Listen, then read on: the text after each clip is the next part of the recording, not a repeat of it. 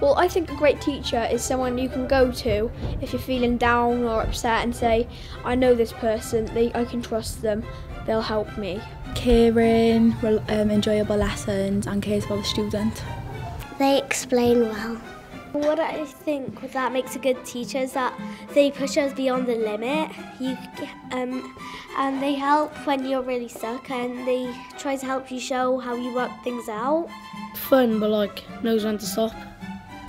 So like I can have a joke, and then when it comes to work, can explain it good as well.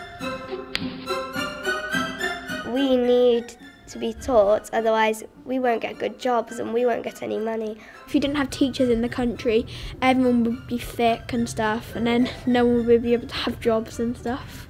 With teachers, they sort of prepare you and get you into where you want to be in life. So people can say doctors, firemen, etc. But then, how would they become what they are without teachers? Yeah, I agree.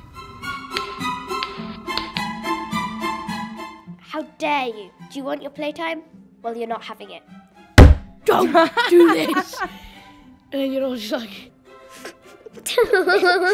Do that one more time and you're missing playtime. Put that thing in your bag or else. You can't say those things.